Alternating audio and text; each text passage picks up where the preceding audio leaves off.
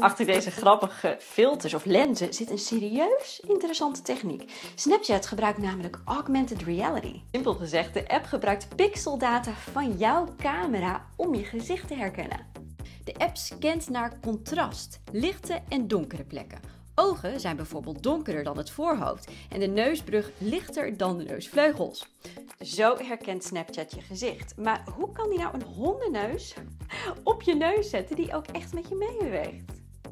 De app gebruikt alle gezichtsherkenningspunten met coördinaten om een unieke mesh voor jouw gezicht te maken. Dit is een 3D-masker op jouw gezicht. En dit masker kan meebewegen met de herkenningspunten, zolang die herkenningspunten in beeld zijn. Vandaar dat het het beste werkt als je recht in de camera kijkt. Anders zijn de herkenningspunten weg.